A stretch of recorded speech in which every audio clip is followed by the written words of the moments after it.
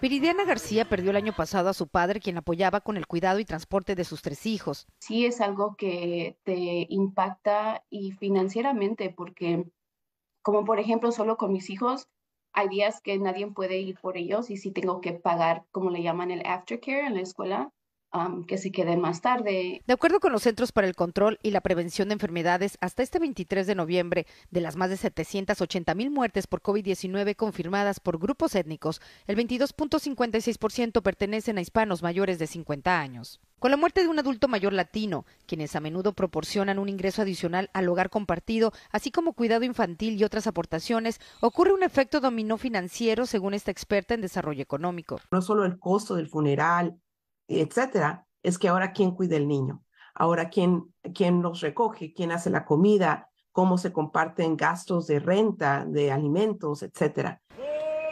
La muerte del esposo de Guadalupe no solo ha tenido un gran impacto emocional, también económico. Ahora, dice, tiene que hacerse cargo de todos los gastos, algo que es muy difícil para ella sola.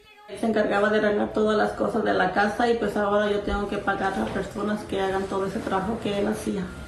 Según expertos, entre los factores por los que adultos mayores latinos fueron más vulnerables a la pandemia están los trabajos que a menudo tenían mayor riesgo de exposición al virus, vivir en hogares multigeneracionales y la carencia de una cobertura médica adecuada. Erika Flores, Noticias Telemundo.